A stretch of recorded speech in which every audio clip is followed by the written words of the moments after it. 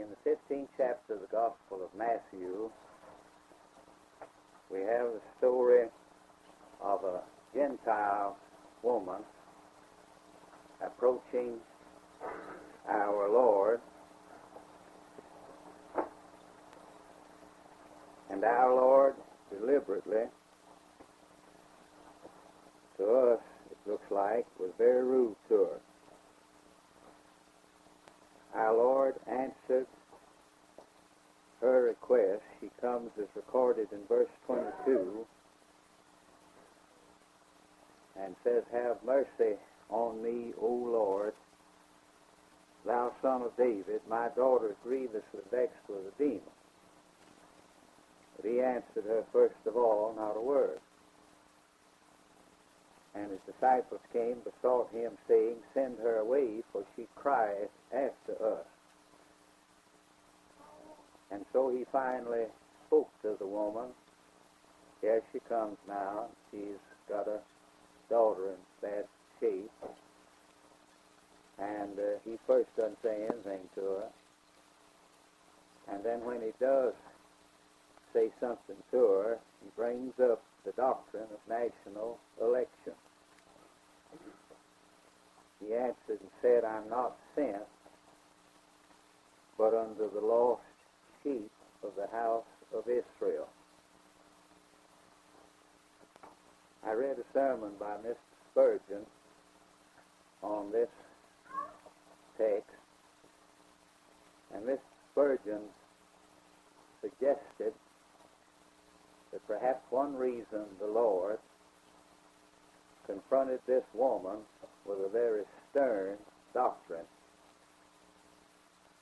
and he did it in such a way as to discourage her, it looks like, was that he wanted to get her the truth about the matter before she heard it misrepresented as she later would. Somebody's bound to tell this seeking woman that our Lord's ministry, when he first came here, was confined exclusively for a while to the Jewish people and that he wasn't looking for Gentiles. And they were going to tell it in a way to make error out of truth and discourage a woman that didn't need to be discouraged. I wouldn't be surprised though Spurgeon hadn't got the truth there. One of the things that I hear so many times every week. I listen to you as you witness. People come to see me, and I go see others. And it seems that religious people, preachers, many of them, people, are making a terrible boogaboo out of the fact that the little new church that we're trying to start, hope the Lord will plant, that we do believe in the doctrine not only of national election for the Jew, but of personal election for the Christian, for the believer. I hear all manner of things about that terrible truth.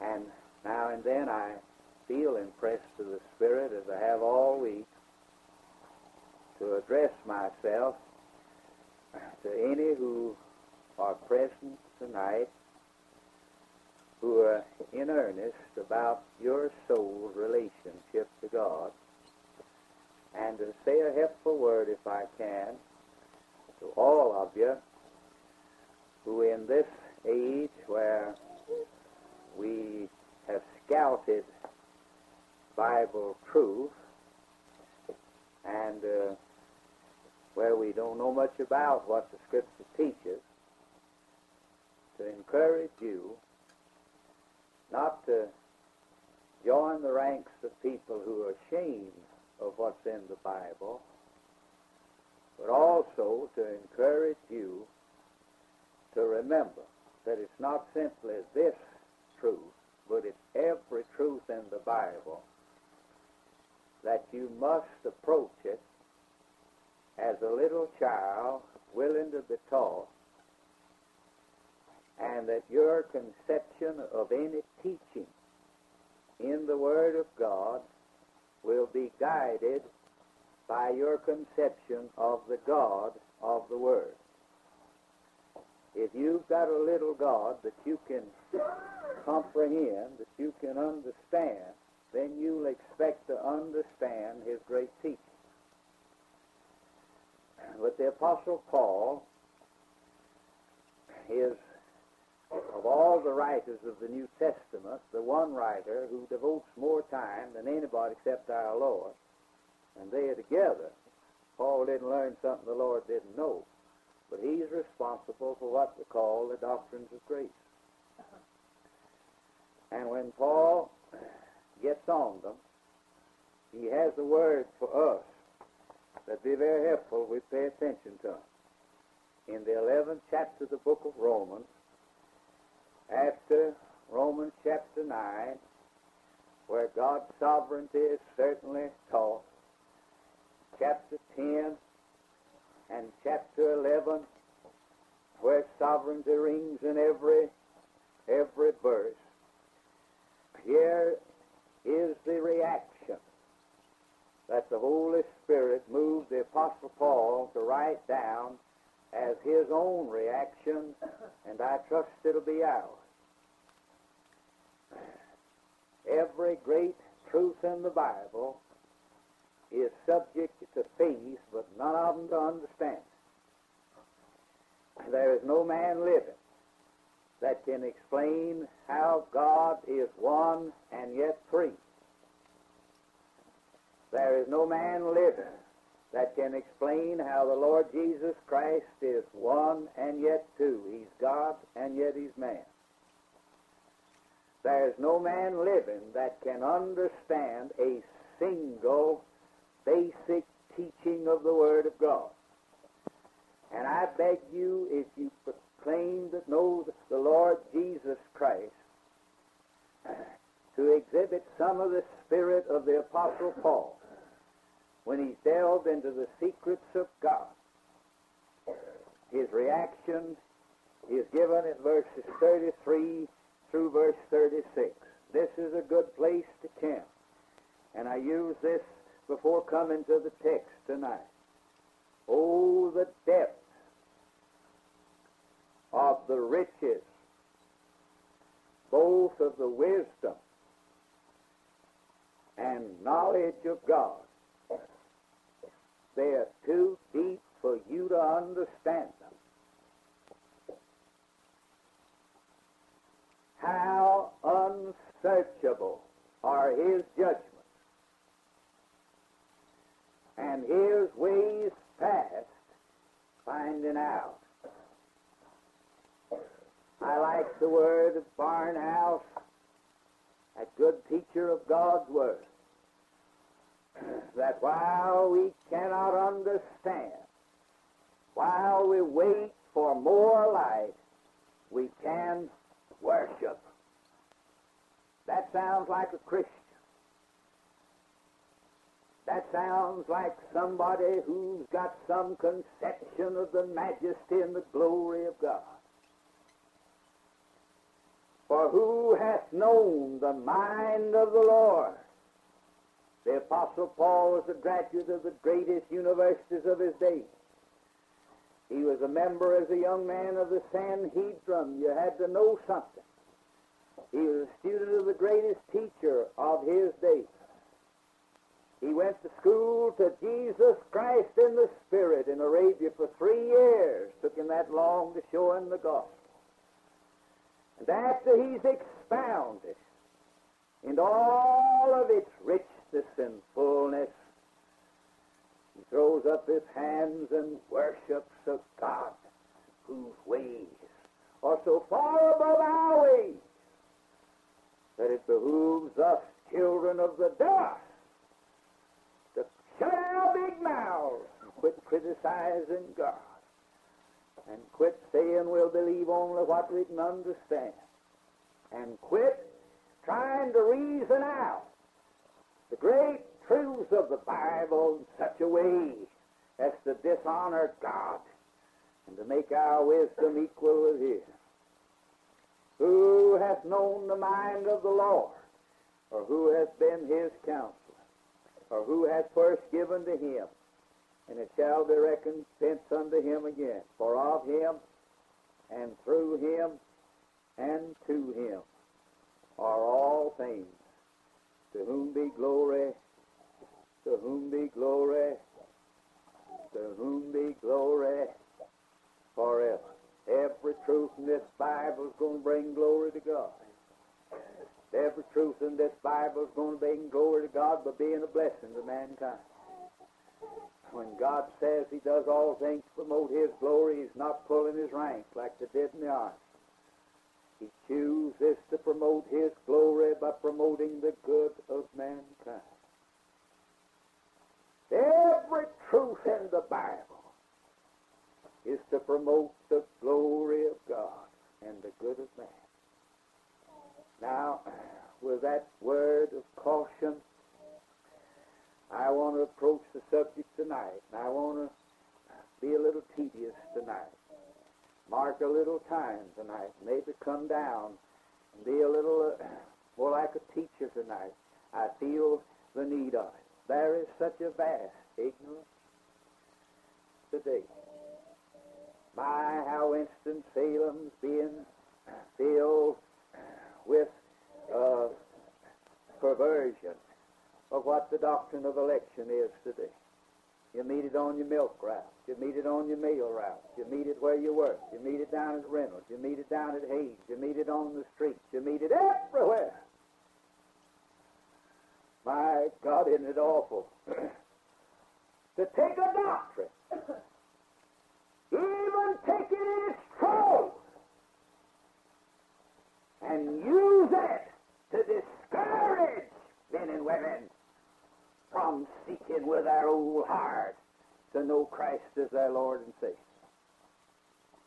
I think perhaps our Lord would have us now and then to try to clear some of the smoke that religious people are putting in the way of sinners getting to Christ by their coming and taking great truths in the Bible and trying to reason from them out of their little puny heads and drawing conclusions that'll damn every sinner that listens to them and will dishonor God Almighty.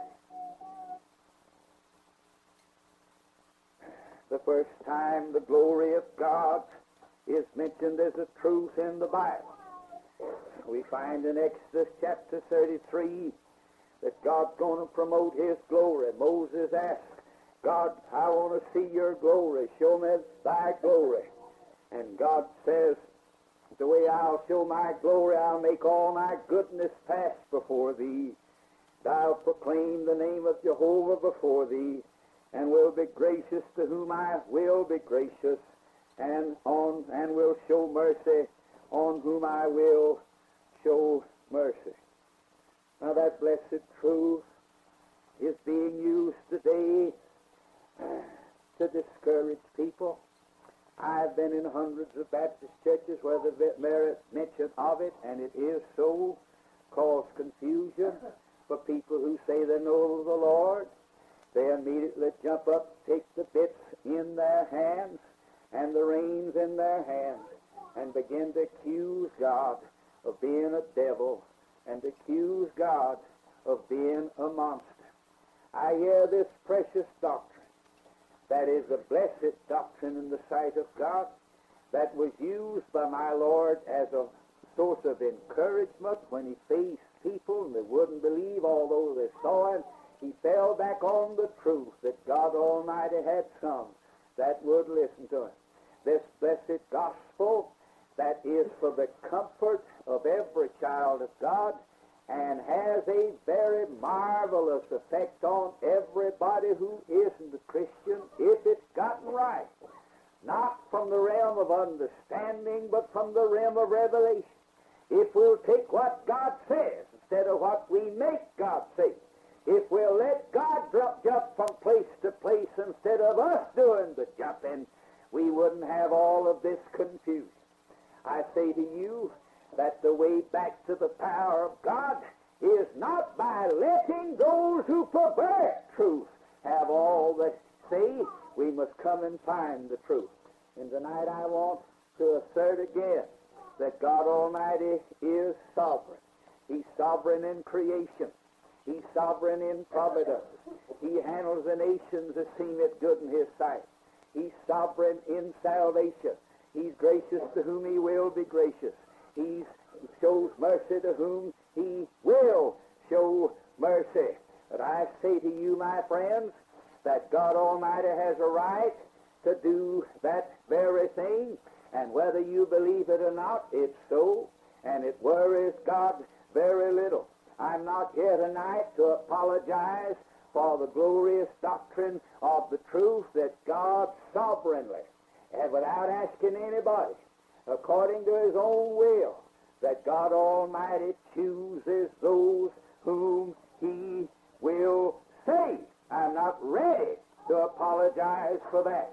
But I do want to say some things tonight, if I may, to show you that that truth, instead of being jeered at, that truth, instead of being ignored, that truth, instead of being used as a club to discourage people who are seeking the way, that's the grandest truth this side of hell ahead.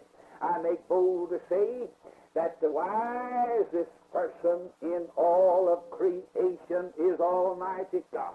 That our little wisdom, all of it put together, is a drop in the bucket to the side of God. And I'm glad that the one in whom all wisdom in its fullness is placed is the one who's running things.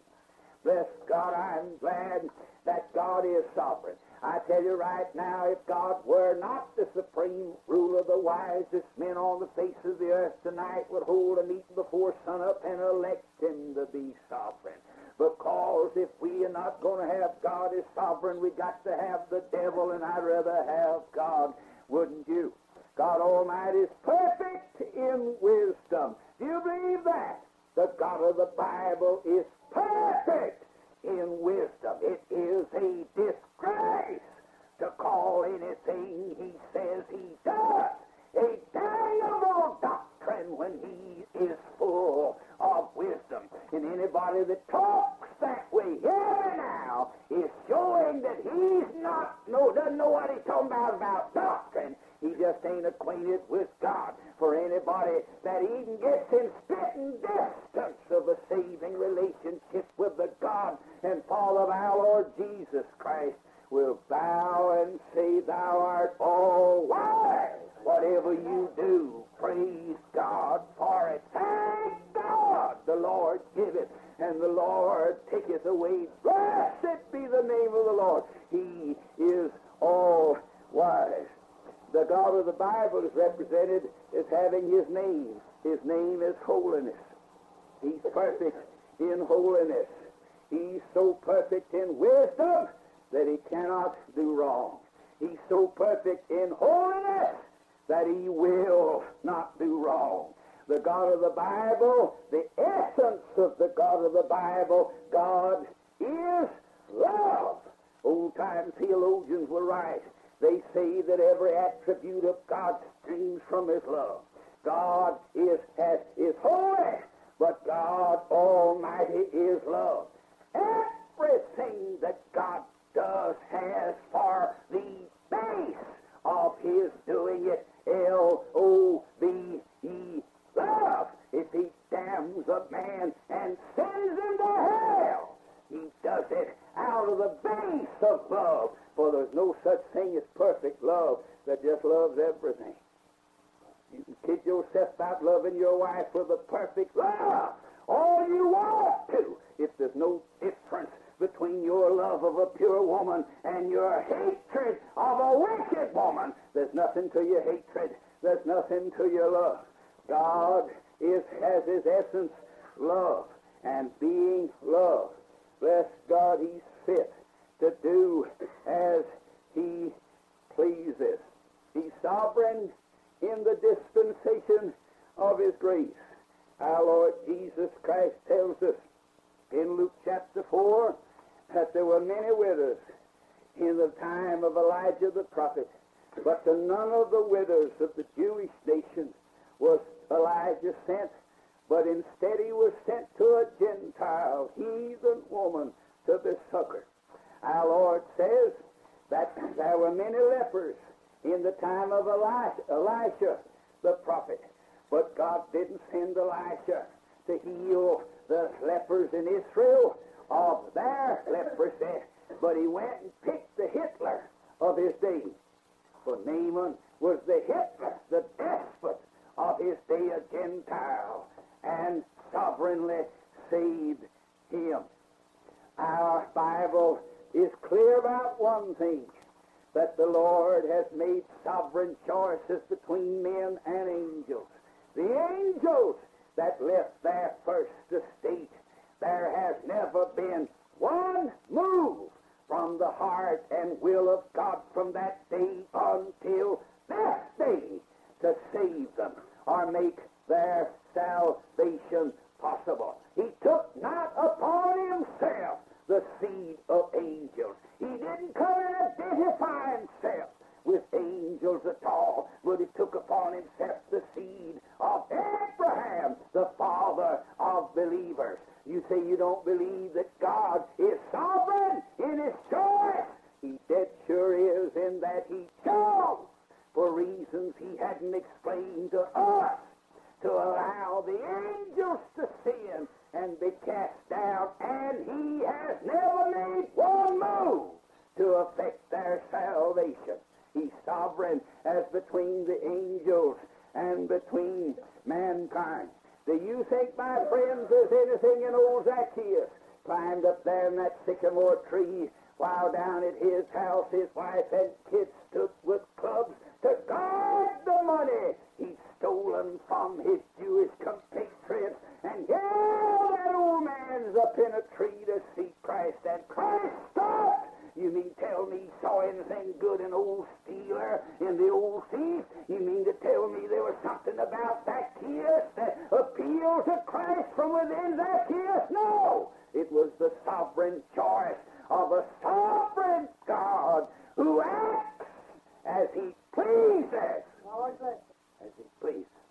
You mean tell me that as Saul went down the road to Damascus to kill off some more Christians, that God looked down and saw that old Saul was a nice sort of a fella, and that if he could get him saved, he'd do a lot for him. That business about doing something for Jesus, you know. And uh, he said, I'll just save him so he'll serve me. No, sir.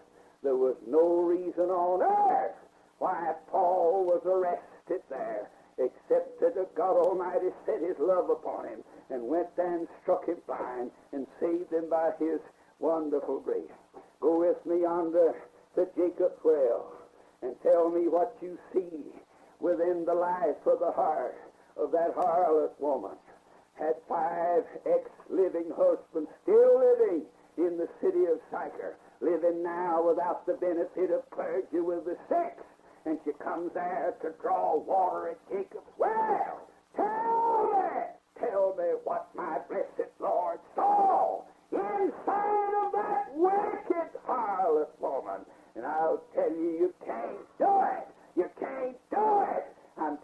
now, if anybody gets old Saul saved, it'll have to be God. If anybody saves that old harlot woman, it'll have to be God. If anybody saves that old thief like Zacchaeus, it'll have to be God. You need talk to me about cooperating with God. They were cooperating, all right. Paul was killing Christians. The woman is committing adultery. Zacchaeus is stealing everything and loose at both ends. And yet God, in his sovereign mercy, arrested them, stopped them, crossed their path, and saved them by his marvelous grace. Now, having said that, let me let me t- let me say something to you. If I speak to anybody here, and you know that if you died tonight, you plunge right middle into hell. Some of you know that. I'll tell you something. Next time anybody professing to be a Christian, listen to me. Next time anybody that professes to be a Christian, listen to me, tries to ram any doctrine down you. You get you a club, tell them I gave you the authority, and you knock them in the head. You let Rolfe Barnard tell you this. You are to be occupied not with God's secret decrees. You can 30 from now, you're blue in the face. But I'll tell you right now, you'll never know a thing on earth about God's elective grace as far as you are concerned. It don't come under the head of your business, and your business is to face your lost and ruined condition and try to look until the crucified, risen Christ works through the Spirit. A work of grace in your heart enable you to get to Christ and turn to God. That's your job. That's your job. Oh, the fuss about the election. Who in God's name is trying to get any sinner to believe any doctrine? We're trying to get you to surrender to a glorious person. To a glorious person. Oh, how they've abused it in this country. How they've abused. My soul, it's precious. And I propose to show you tonight that your duty is with the revealed will of God.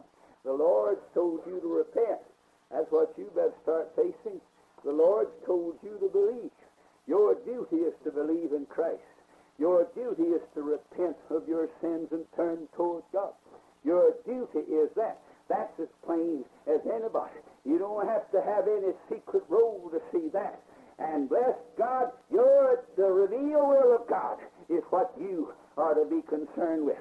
No man will ever find out whether he's one of God's elect until after you see. The only evidence anybody here has got tonight that you're one of those that God chose before the foundation of the world is that the gospel came and made a change in your life. It came to you in power. Yes, sir. That's right. Listen, listen, listen. You just forget God's secret decrees tonight. We'll come back a little bit more and, and just to pay a little attention to what he tells you to do. He commands all men everywhere to repent. Have you repented?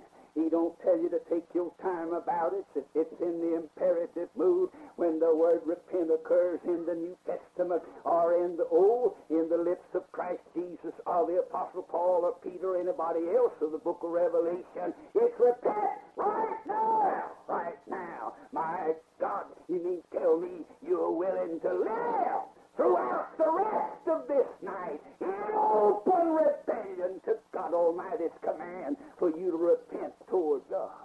For you to repent toward God. You mean to tell me that you're willing to go home and close your eyes and go to sleep and only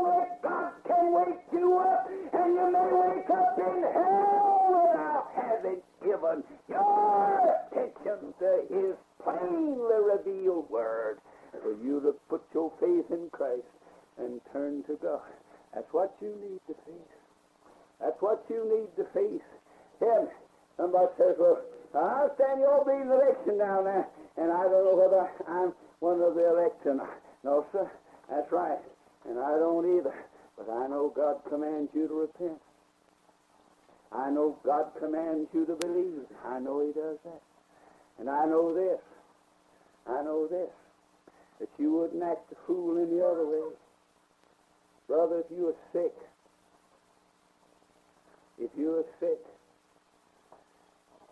you'd say, well, if I call a doctor and he gave me some medicine, I don't know whether I don't know whether God will bless it or not. If God don't bless the medicine of the doctor, while dying, I so I just won't call the doctor. You wouldn't do that. You wouldn't say, well, I know if I go out and plant my crop, I know it won't, won't make a thing unless God Almighty sends the sunshine and the rain, gives the increase. You can't even raise tobacco without the providence of God, can you? You say, well, I don't know whether it's His will for me to have a crop or not.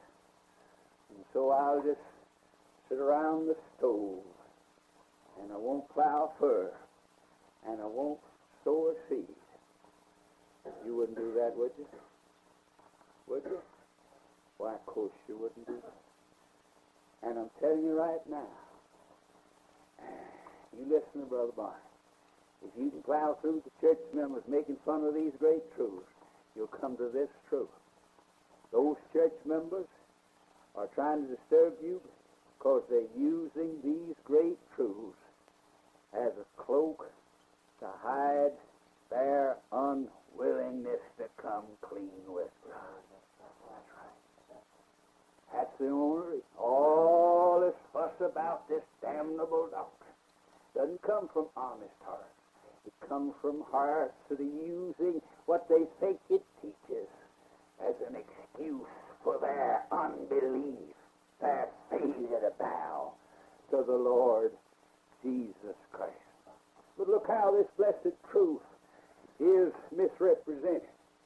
Somebody says, Preacher, preacher, uh, don't you think that if a father had two sons and he was good to one of them and he was mean to the other and he blessed one of them and he just cursed the other, don't you think that'd be terrible? Certainly. Certainly. But that isn't the way it is with God and man. That isn't the way it is. It's not a great, loving Heavenly Father being nice to one son and being wicked, mean to another. It's a holy and a just God dealing not with sons, but with criminals who've broken his holy law and subject to nothing but the judgment of a holy God. Man tell me this week about talking to big businessman, the man, he got it all fixed up, and this represents a lot of people. He said, can't tell me something like that, that God would make a man and then send him to hell. Well, leave out one truth, and that man's got it right. Ladies and gentlemen, if God made you in the shape you're in now, and then sends you to hell, he is a monster. And if you could prove to me that God's responsible for that old wicked heart of yours and that old wicked body of yours, and if you could prove to me you are in the shape that God made you and that God made you like you are, you love sin, you drink uh, sin, you drink iniquity like it is water, the Old Testament says, you're prone to evil, it's hard to do good. If you could prove to me that this world of sinners were made like they are by God and then prove that if God do that then send folks to hell for acting just like their nature claims they ought to, I'd curse God and die. But God didn't do that. God, the Bible says, made you upright. Made you upright. The Bible says, and God created you, created you perfect. The Bible says, and God created you, created you in all holiness. That's right. And by your own sin, you change the image of God. Now, I think the fellow says in the book you've been reading, the image is marred. And now, God does not deal with men and women as his erring sons. He deals with men and women as criminals against law. And it behooves this generation to be silent in the presence of that. The only claim that any sinner this side of hell, the only right that any sinner this side of hell's got to pop off to God. I can see where a sinner's got a perfect right to stand up on his hind legs and say, God, I demand what's coming to me. I think a fellow's got a right to fight for what's coming to him. But all on earth any of the sons of Adam have coming to them is exactly what God promised us he'd do. In the day thou eatest that fruit, dying thou shalt surely die.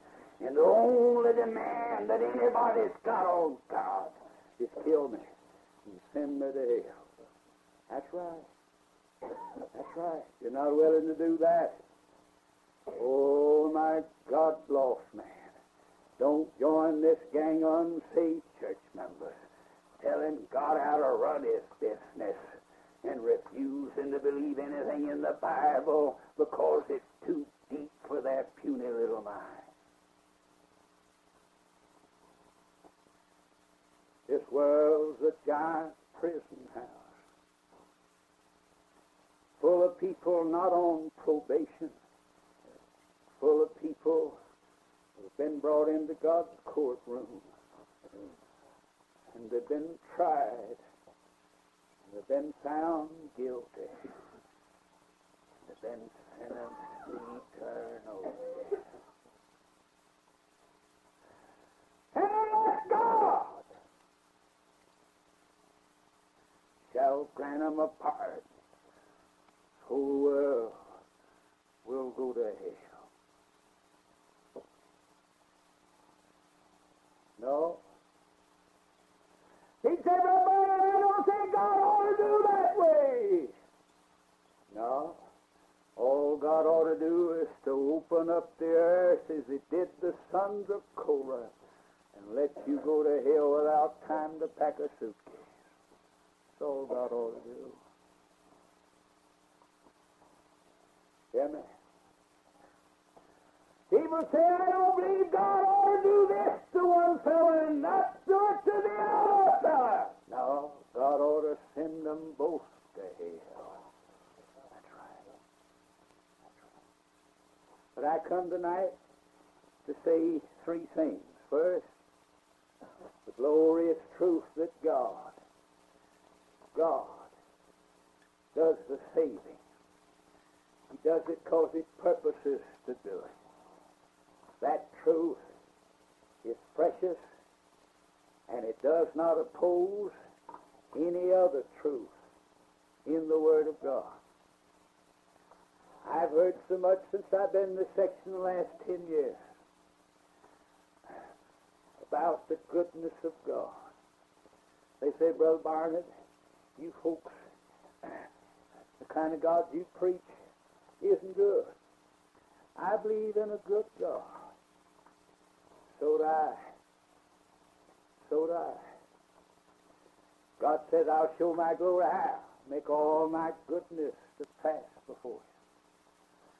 Oh, you say, Brother Barnard, I believe that God's good to everybody. I do too. He hadn't been good to you, done been hell a long time ago. That's right. Oh, how good he is. Says sends the rain on the just and the unjust. Oh, how long suffering is to all mankind. I believe in the virtue of the death of my blessed Lord. That the throne of God is now a throne of grace, and judgment is paid. And get out on the street tomorrow and open his mouth, and with the breath that God gives him, blaspheme the holy name of God. And the earth won't open, he won't drop into hell. Why? The goodness of God. Goodness of God. Ladies and gentlemen, listen to me. Listen to me.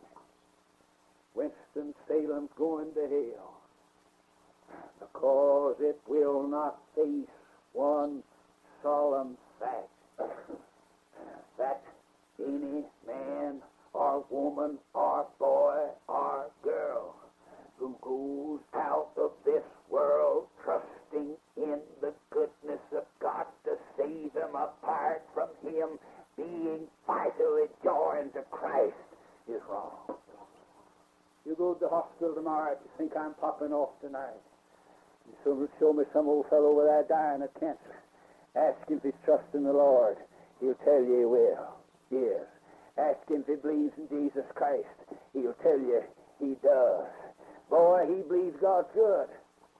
You go down to the Jewish rabbi tomorrow, or to some Orthodox Jew run the jewelry store, and ask him if he doesn't believe in the goodness of God. And he does. Oh, I believe in the goodness of God, sending his blessings on all mankind. But, brother, you can go to hell so fast you kick up dust in the devil's face if you do not find out that the trust in the goodness of God apart from vital connection with Christ means your eternal damnation. There is no salvation in the fact that God's so good he sends the rain on the just and the unjust. The only salvation is the fact that God is in Christ saving sinners. Oh, yes, He's good. I believe God will do that. He's too good. Yes, He's too good to be unjust to anybody.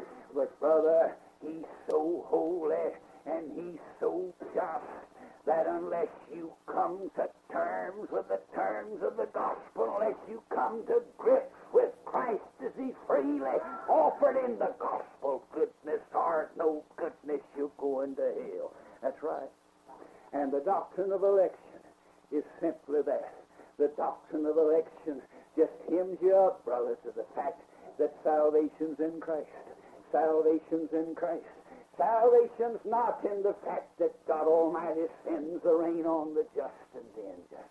Salvation's not in the fact that God deals in mercy toward all mankind. Salvation's not in the fact that God longs suffering. Salvation's in Jesus Christ, the well-beloved Son of the living God, and goodness or no goodness. There isn't any salvation anywhere else. In the doctrine of election that they make fun of us for believing simply is this that God does what He does in Christ. In Christ. In Christ.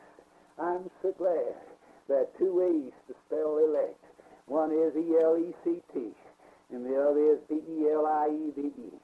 I'm glad that the gospel is the story of Jesus Christ purchasing the salvation of everybody God chose. I'm further glad that the gospel is the blessed story of Christ hanging on a cross and being raised from a glorious grave, that everybody that believes on him shall be saved. You spell the word elect two ways, B-E-L-I-V-E. Everybody believes on Christ is saved. Everybody God chooses going to get saved. I'm glad. I'm glad. But nobody to get saved out of Christ. Nobody. Nobody. Nobody. Nobody ain't to get saved because God's good and sends the rain. Everybody gets saved. Gets saved if he vitally joins Christ. What this town doesn't need to hear is that God's good. Oh, they're going to hell believing it. They go into hell talking about that. I never met a fella, hardly, that wasn't trusting in the goodness of God.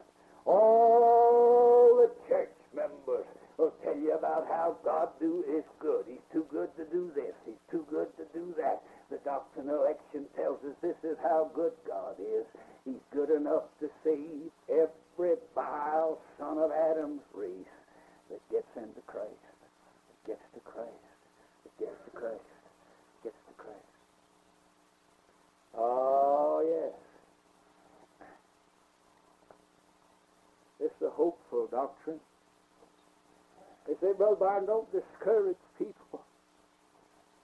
Well, thank God, the doctrine of election, how it does give hope. How it does give hope. This, whosoever shall call upon the name of the Lord. Many is that? Whosoever. How many? Whosoever. How many? Whosoever.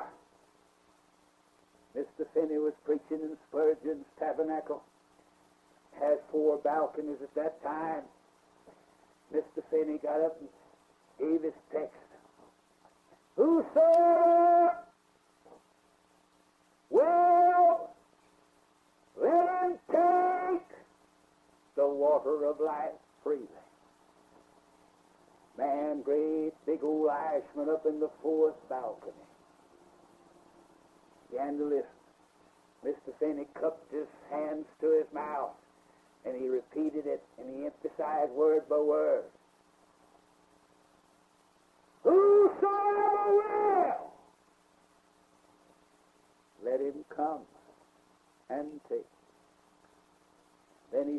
whosoever will, let him take. While he was going over that, emphasizing the word, big old Irishman had come down to the lower floor and coming down the middle aisle. Got down halfway to the big pulpit and he lifted his hand. Mr. Finney stopped. And the old Irishman said, Mr. Finney, does whosoever include me?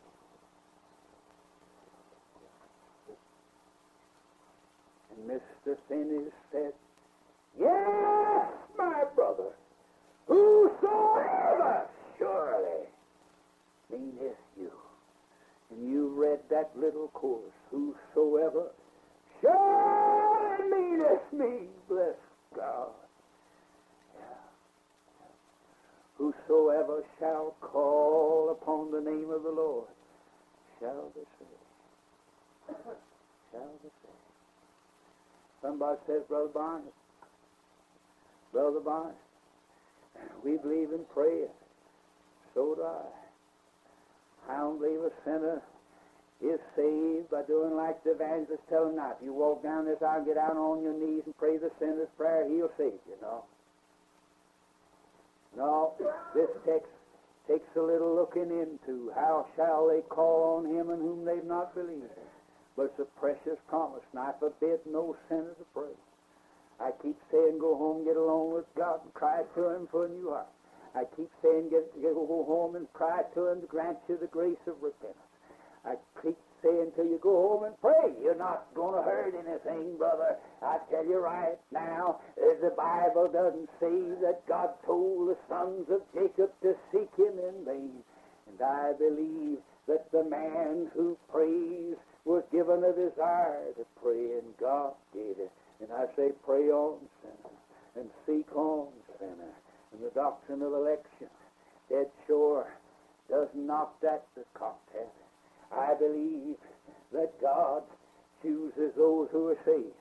I also believe it's true. Ask, ye shall receive. Seek, and ye shall find. Knock, and it shall be opened unto you. Whoso asketh and seeketh and knocketh. They're both in the Bible. They're both in the Bible. And I'm just as dead certain, brother, that if you ever start seeking the Lord, it proves what I'm preaching. Before you ever started seeking Him, He started seeking you. Now watch. This blessed doctrine certainly doesn't oppose the invitations of the gospel. Oh my, would it be awful if we couldn't quote if any man and any if any man oh everyone that thirsteth come come unto me all ye who weary and heavy laden what wonderful invitation as wide as the need of man. No use to talk about whether folks who are not thirsty are invited. It'd be silly to invite a fellow unless he's thirsty. But I'll tell you how wide the invitation is. It's as wide as the thirst of mankind. It's as wide as the need of mankind. It's as wide as the guilt of mankind. Oh, the glory of the gospel invitation.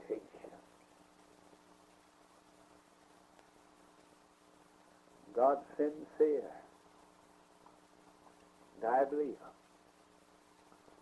Oh, I ain't going to get you to thinking that coming to Christ can be done with your feet or your hands or your lips. I ain't going to let you believe coming to Christ is walking down an aisle. It's not a physical matter, it's, spiritual man. And all the light you'll ever have is what's revealed in the gospel. You'll have to come to Him believing what the gospel says about it. You're not going to receive a revelation of some light shining. I believe that Christ must be revealed to your heart. But he'll be revealed to your heart as you by faith act upon the gospel. That's right. That's right. And every invitation, not a one of them opposes the glorious truth we're. This blessed gospel does not oppose the terms of the gospel. What is the gospel message to anybody? Believe on the Lord Jesus Christ, and thou shalt be saved. He that believeth shall be saved. Just as clear. Just as clear as. Listen to me. Election or no election. If you can believe on Christ, you'll be saved. Sovereignty or no sovereignty. If you can lean on Christ with all your strength, you'll be saved. That's right. That's right. That's right. We believe it all. We believe it all. This truth I'm preaching tonight, it's so belabored, made fun of, hear me, has a marvelous effect on people who do not know Christ. The old theologians always divided that congregation of sinners into two groups the awakened and the fellow that's still asleep. The awakened sinners, the fellow says, Oh, I wish I could be saved. I wish I could know the Lord. I wish I could. I wish I could. Something happened to that fellow. A year ago he walked the streets and whistled by the cemeteries of his sin. Something happened. Something happened. He's awakened. He's worried. He's afraid. He's interested. He's meek. He's seeking. Nobody will ever be saved apart from that. Oh, my soul. Hell's going to be filled up, not with sinners that were trying to get saved and couldn't, with sinners that were sleeping, the sleep of death. And to awaken sinners, this blessed truth of God's sovereign election has a marvelous, marvelous, blessed effect. In the first place, it's used in the hands of the Holy Spirit to strike to death all your self-effort. Listen to me, Santa. You don't quit listening to the preachers this day, you're going to go to hell, working just hard as you can to do something yourself to be saved. The Arminian preacher stirs up your flesh. You do this and you do this. And we come along and say you'll never be saved until you quit doing everything. You're not saved by doing. Why, they say if you'll pray if you'll do this if you'll do that if you'll do the other, and we come and say, no, salvation's of the Lord. What are we trying to do? What are we trying to do? Get you to look to some striving of yourself? No. Get you to look to Him. Get you to try to repent yourself? No. Get you to look to Him that grants repentance. Get you to think that in your own strength you can get to Christ? No. Get you to quit in your strength and just fall prostrate in the arms of Him. That's right. We come and tell you, if you ever saved, it's because God will save you. Because God will save you. All your strivings are no good. Everything you need's in Christ. Everything's in Christ. God's got nothing for you except in Christ. God's everything for you is in Christ. You just got one need. That's out of self into Christ. into Christ. Look to Him. Look to Him. Look to Him. Oh, if I can get a sinner to where he's dead to all self-effort, got him half saved. The battle's almost won. The battle's almost won. This blessed truth is a very blessed truth because it brings hope to the hopeless. Here's a prison house full of criminals. Somebody says, I tell you, if I had a whole lot of money, I bet I could bribe the, the king or the judge. But I haven't got any money. There's no hope for me. And somebody, if I knew somebody that knew somebody, I might could get a pardon. No hope for you. But the doctrine of election comes along and says, there you sit. And if anybody will save you, it must be God. But oh, that's his business. And just think, without any money, without any price, just think of the folks he saved. Was there ever such a wicked man as Amaziah, the wickedest king of all the Old Testament? Yet God saved him. Was there ever such a wicked man as Saul of Tarsus, breathing threatenings and killing Christians? Yet God saved him. Oh my. That's hope. It's hope to the vilest. If he saved people like that, why won't he save me? I tell you what I'm going to do. Sink or swim. Live or die. Survive or perish. Salvation or damnation. Cast myself at the feet of the Lord. Here I am. Here I am. If I go to hell, I go to hell depending on you. And if you go to hell that way, you'll be the first one that ever did. Oh, what hope. And then this blessed doctrine brings a wonderful word to a sinner that's interested. I ain't talking to a fellow if he wants to argue now, but if you awaken to your need in the matter of power, you say, Preacher, I wish I could be saved.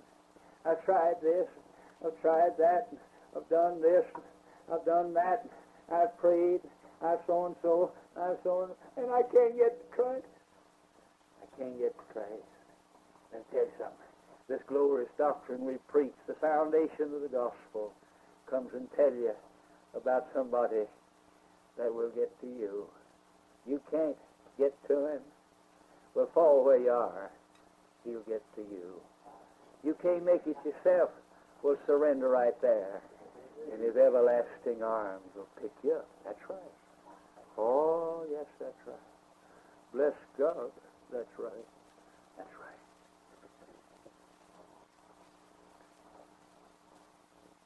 And then this truth has a message for safe sinners. You're just getting along all right.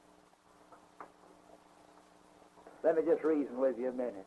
You say, preacher, I don't intend to go to hell. Some of these days, I'm going to repent. I'm going to get to God.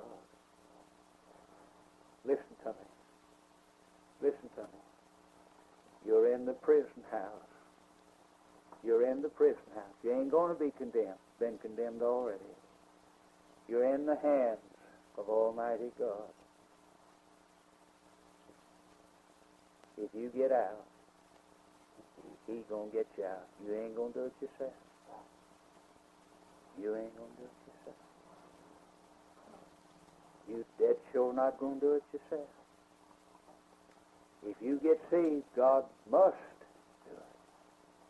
God must do it. Oh, I'm encouraged again at the vast numbers through the ages, as wicked as I.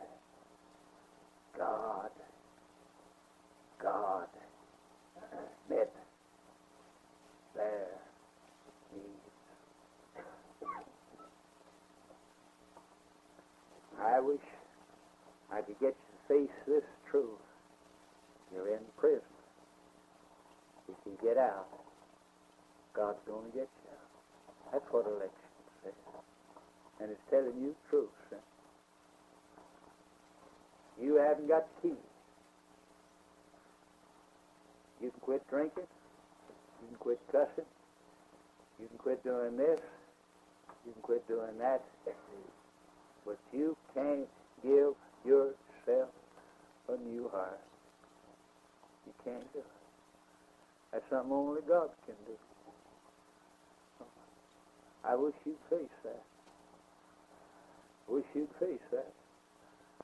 And I wish you'd do one, two things. Cuss God and go on to hell with both feet straddling down the middle. Or say, well, if it's up to God, I tell you what I'm going to do. I'm going to cast myself on it. I'm going to say, oh, God, save me. If I go to hell, I'll go screaming, God, have mercy on me. While the Spirit of God walks down the corridors of time and passes by my cell, I'm going to say, Oh, thou Son of God, have mercy on me. Have mercy on me. A fellow was telling me today, this week, about tackling some lost people this week. And he said, just break your heart. Well, you tackle them and it'll break your heart. Oh, how hard people are. How full of doubt.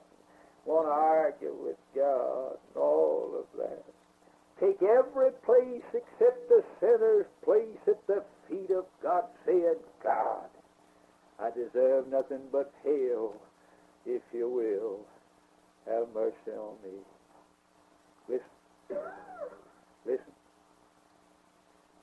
Talking. Breathing insults to God. Won't get you any place. The only place I know for a hell-bound sinner is at the foot of the cross, crying, have mercy on me. Have mercy on me. And this fellow talked a little while, and I said, when you remember that before God saved you, we were as wicked as anybody else, how marvelous to be saved.